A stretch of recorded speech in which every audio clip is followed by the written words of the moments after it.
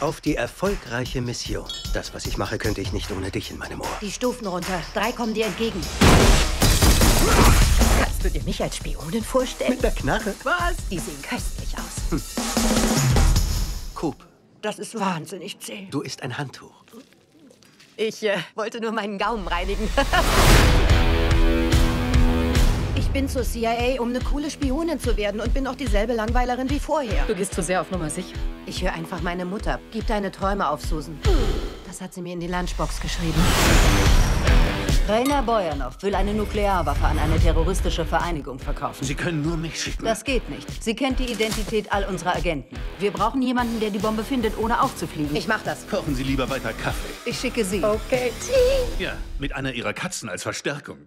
Ich habe keine Katze. Gehen Sie zu Patrick. Er hat Spezialequipment für Sie. Das ist voll Science Fiction. Eine Spion. Ich weiß. Sie bekommen eine neue Identität. Ach, Katzenmutti. Fehlt noch ein T-Shirt mit dem Aufdruck, mich hat noch nie ein Mann berührt.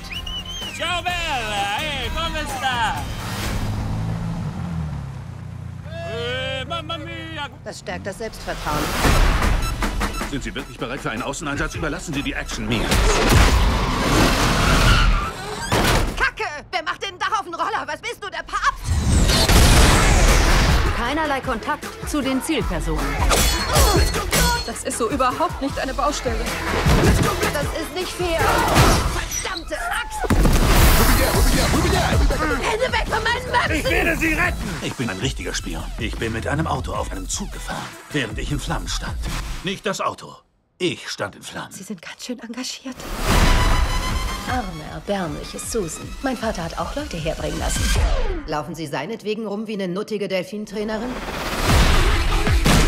Habe ich das Anklopfen vergessen?